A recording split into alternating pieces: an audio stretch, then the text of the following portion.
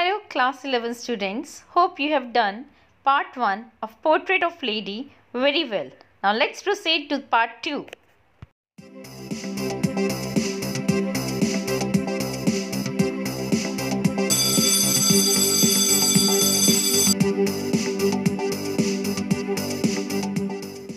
Let's look at the first phase of relationship that the author Khushwant Singh had with his grandmother when he used to live in the village with his grandmother. The author says that his grandmother used to wake him up and get uh, make him ready for the school and she accompanied. That means she went to school with him and uh, she not only went with him and she carried some chapatis. Now let's see further what happened. My grandmother always went to school with me because the school was attached to a temple so it is an important thing that is telling us about the personality, character of the grandmother. This shows that she was a religious lady. Her characteristic of the character is described here that she was a religious lady. She accompanied, she went with his her grandchild to, uh, uh, to the school as she wanted to spend her time praying in the temple. So what they used to do in the class there, in the school there, uh, the school was not a regular school like our uh, like the school uh, nowadays you people go. The priest taught us the alphabet and the morning prayer. It was a school that was attached with the temple. The teacher in the school was a priest who taught them alphabets and the morning prayer. Okay so both the religious and the language was uh, was taught to the children by the temple priest only. While the children sat in rows on either side of the veranda singing the alphabet or the prayer in chorus. Singing the alphabet or the prayer in chorus. Now what is prayer in chorus saying something, saying, reciting some prayer, etc. in chorus means that all the persons who are who have assembled there are saying that thing together. Chorus is for that togetherness. The same thing is repeated like uh, you uh, repeat the tables etc. When you were young, you used to repeat certain forms of verbs, tables and many more things and you used to say those things in the chorus. My grandmother sat inside reading the scriptures. Now what his grandmother used to do? She sat in the temple and she used to read scriptures. Now what are scriptures? Scriptures are the religious writings like Ramayana, Mahabharata and all those, uh, uh, I mean other uh, religious uh, things, uh, the writings, the books, uh, religious books. These are called scriptures. When we had both finished, when we had both finished, we would walk back together. So he says that after finishing the school and after the grandmother had finished praying in the temple, they both went back together. This time they were not alone. Okay, so let's read who were there with them. This time the village dogs would meet us at the temple door. They followed us to our home, growing and fighting with each other for the chapatis we threw to them. So on the way back they had dogs that were following them to get the chapatis from them. So this was the first phase. This was the first phase of relationship between the author Khushwant Singh and his grandmother. In the next paragraphs, the second phase of relationship is being described and now let's have a look on the next paragraph. So the first phase was in the village and now the second phase is in the city.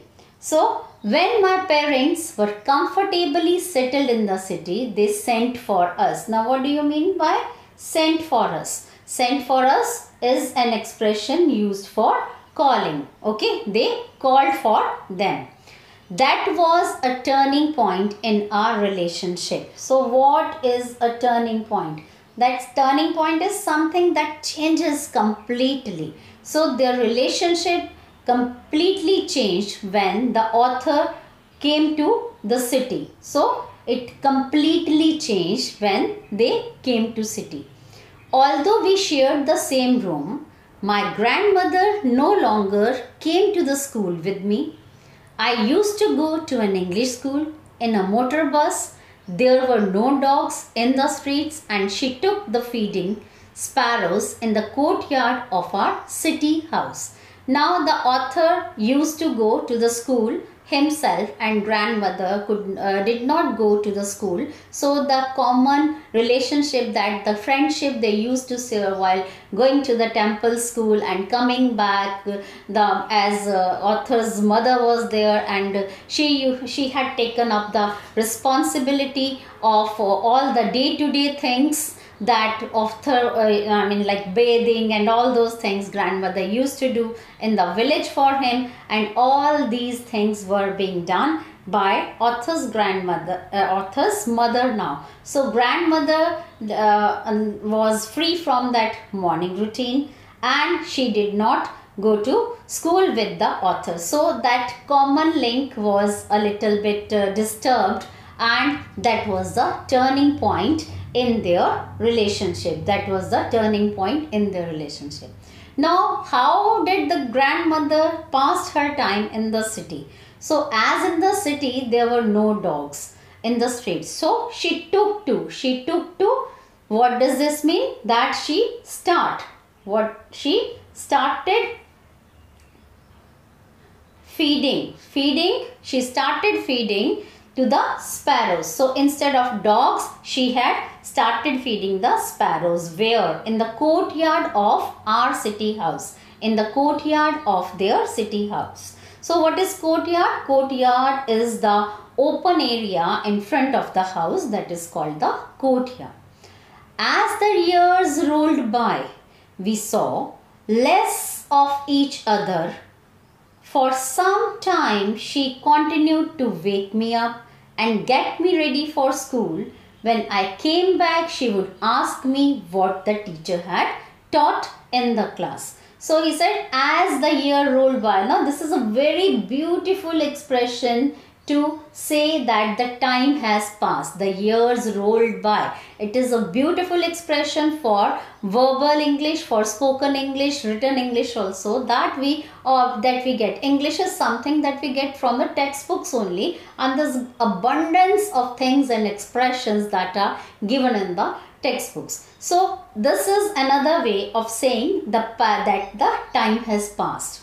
So they saw less of each other. They used to meet less. And in the beginning, when they arrived in the city, grandmother used to bathe him and do other things. And uh, I used to ask him uh, what he had done in the class and what was being taught by the teacher in the class. And this way, uh, grandmother grandmother was always concerned uh, about him. And she used to ask these things in the village also. So she used to ask these things in the city. But when the author told him what he was doing in the school grandmother was a little disappointed. Let's see why she was disappointed. I would tell her english words. Okay now the author used to learn some english words there okay and the little things of western science and learning. What kind of things? He used to tell his grandmother the law of gravity archimedes principle the world being round etc so grandmother was not of uh, i mean uh, she did not like uh, the way he was getting uh, uh, he was getting taught in the school. This made her unhappy. The sentence this made her unhappy tells us that she was not satisfied with what kind of education was provided to her grandchild. But she did not say anything to uh, um, to the author or to her son. She was brave enough. She was courageous that she could uh, she could hold all those emotions with her only. Okay she never wanted to interfere the where his uh, her son you uh, was uh, trying to grow groom up his child that is the author Khushwant Singh she could not help me with my lessons. Now here we are going to get the reasons of her unhappiness. The first one is she could not help the author in his lesson. And the second is she did not believe the things. She did not believe the things that were taught in the school. This is the second thing. And she was distressed that there was no teaching about the God. She did not like that in the city school, no teaching about the God and the scriptures were given to the students. One day I announced, one day I announced that we were being given music lessons. She was very disturbed. Now this is an important question here. Uh, we have come across an important question that that uh, is likely to appear in the that is seen quite often in the CBSE examinations. Why she did not like music. Okay? So he announced that I uh, that we were being given music lessons. Now she was quite disturbed she was unhappy Too hard. now these lines are telling us the reasons why she was unhappy. Why she was unhappy? Too hard music had lurid associations. Lurid association means that music is not a thing that is to be done by some royal families, high standard families. Music is related, associated with some lower caste, lower strata people and she did not like it and she believed that it was the monopoly, music was the monopoly of heralds and beggars and not meant for gentle folk. She said nothing but her silence meant disapproval. So she did not say anything through words, she did not speak anything, but she became silent. And she rarely talked to me after that. So it was the time when she stopped talking to the author and as she did not approve what was being taught in the school to her grandchild and she really wanted her grandchild to pick up religious uh, learning he, she wanted him to learn prayers and uh, scriptures etc so this was the main reason why she did not uh, why their relationship were being snapped. So the first we can say that it was uh, her routine was different and then the main thing I mean she could not help him in his lessons and then music is another thing that she did not like that was being told to the author that was being taught to the author. Click on the links for the further learning material. Let's move further and see what's next in our story for us. It's quite an interesting story, Otto, although it is uh, biographical in nature. The story is biographical in nature, but somewhere we feel that this story is uh, quite close to us. Most of us uh, do have the same kind of uh, scenario nowadays in our house, in our environment also where grandmothers want to spend time with grandchildren. And they are helpless as they cannot help them in studies they cannot uh, drop them and uh, receive them to school. And the things have completely changed. So we are uh, we can associate this story with us. So let's see. And i mean two phases we have already seen the first phase was in the village and the second phase was in the city so now let's see what happens further in the past in the story. When I went to university, I was given a room of my own. My, the common link of friendship was snapped. Now, what do you mean by snapped? Snapped means broken. That the common because earlier they were using one room and while coming to the room, going back from the room, whenever he, he used to visit his room, come back from school or go to school, I mean, they were really uh, meeting each other, at least seeing each other. But now the author was given a room of his own and the common link between the friendship was snapped. My grandmother accepted her seclusion with resignation. So it is also again an important explanatory question that uh, we may get in the examination. Kindly uh, listen to care listen carefully about this. Accepted her seclusion. Now what is seclusion? Uh, that uh, she accepted that she was being uh, separated she was being uh, i mean left alone. She accepted her loneliness here. Okay so we can say she accepted her loneliness with resignation. Okay she resigned that i cannot do anything now. Let me resign. Whatever they want to do let them do. She rarely left her spinning Okay, now when someone uh, thinks, have stopped thinking from one side, you know, a person at whatever age he or she is needs to have some kind of motive to spend the life. So what she took? She took to the spinning wheel. Here she thought that uh, she rarely left the spinning wheel. That means all the time, most of the time, all time, all the time that she was awake, she used to spin the wheel and she rarely talked. She rarely talked to anyone. She has stopped talking. She seldom talked. She seldom talked to her, the family members also. From sunrise to sunset, she sat by her wheel, spinning and reciting prayer. Now, these were the two things she used to do spinning and reciting prayer when she used to live in the city. Only in the afternoon, she relaxed for a while to feed the sparrows. Okay, she said that only in the afternoon she relaxed for a while to feed the sparrows. Okay, uh, while she sat in the veranda breaking the bread into little bits. Okay, she used to feed the sparrows with the bread and she, while she was sitting in the veranda and preparing the food item that she used to give to the sparrows, she was breaking the bread into little bits. Hundreds of spar little birds collected round her, creating a veritable bedlam of chirruping. Now this expression, veritable bedlam of chirping. Imagine when hundreds of sparrows have gathered together and they are chirping. That means their sound will be low or it will be quite high. Quite high. So with that, I mean when uh, like children sing in chorus and the voice is quite loud.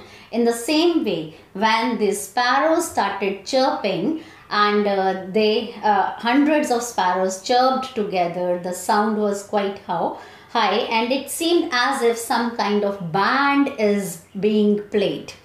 Some came and perched on her legs. So here we uh, get the things what the sparrows used to do uh, at the time when grandmother used to feed them. That was the most uh, happy, I mean the most happy uh, time when she that she spent with the sparrows. Some came. Now this sum is used for the birds. This sum is used for the birds. That means some birds came and spent some time, uh, I mean, perched on her legs. So, perch means sit, like from flying and sitting on her legs.